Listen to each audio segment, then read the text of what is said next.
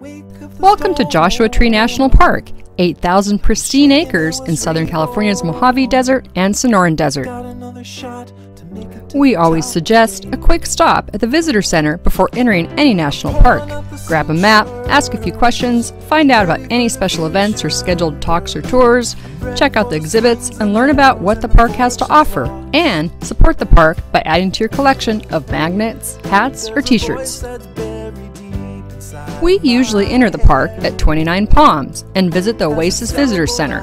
The Visitor Center lies outside of the park's entrance, so a stop here can be made even without entering the park and paying the entrance fee.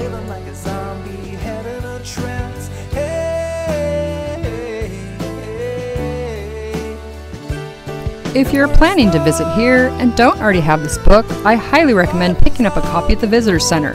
This book is a fantastic guide that covers just about everything in the park hikes, campgrounds, its interesting history, and all of the sights to see. Joshua Tree has a very interesting history mining, Indians, squatters, and outlaws. The park offers nine different campgrounds, Jumbo Rocks being our favorite. Some of the campgrounds are small and just way too tight for trailers and RVs. There are loads of hikes, from wheelchair accessible to short one mile walks to strenuous miles with altitude gains. And rock climbing is huge in the park.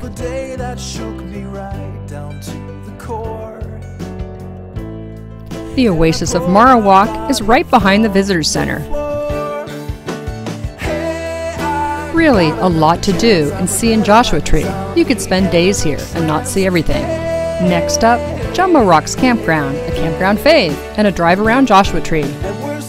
If you haven't subscribed already, please do so to receive a notification when our next video is posted. If you've enjoyed this video, please give us a thumbs up, share with your friends, and tell us about your favorite Joshua Tree site, hike, or campground in the comments below. And thanks for watching.